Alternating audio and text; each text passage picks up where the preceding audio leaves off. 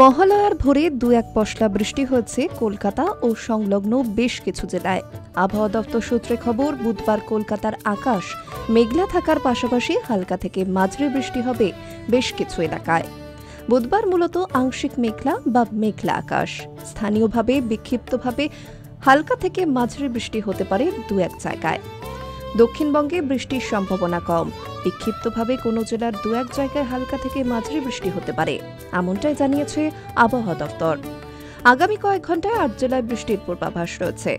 বজ্রবিদ্যুৎ সহ হালকা থেকে মাঝারি বৃষ্টি হওয়ার সম্ভাবনা।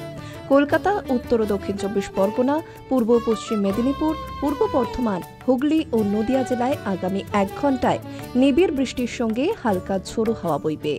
নদিয়া জেলায় বজ্রবিদ্যুৎ সহ বৃষ্টির সতর্কতা রয়েছে। আগামী দু ঘন্টায় তিন জেলায় বৃষ্টির পূর্বাভাস রয়েছে। বজ্রবিদ্যুৎ সহ হালকা থেকে মাঝারি বৃষ্টি হতে পারে।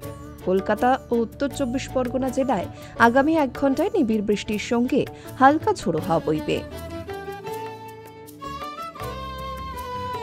নদিয়া জেলাতেও বজ্রবিদ্যুৎ সহ বৃষ্টির সতর্কতা জারি করা হয়েছে। আপাতত রাজ্যে ভারী বৃষ্টির সতর্কতা নেই। দিন ও রাতের তাপমাত্রা স্বাভাবিকের থেকে বেশিই থাকবে। আপাতত কয়েকদিন আংশিক মেঘলা আকাশ এবং চড়া রোদের সঙ্গে জলীয় বাষ্পের পরিমাণ এখনও বেশি।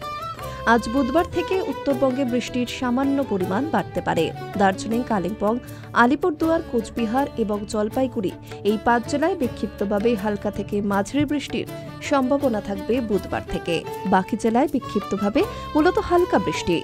কলকাতায় আজ বুধবার আংশিক মেঘলা আকাশ। বৃষ্টির সম্ভাবনাও রয়েছে।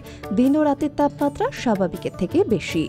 বাতাসে জলীয় বাষ্পের পরিমাণ এখনও বেশি। তবে এখনই ভারী বৃষ্টির সম্ভাবনা নেই। वेदर ब्यूरो न्यूज़ बर्तमान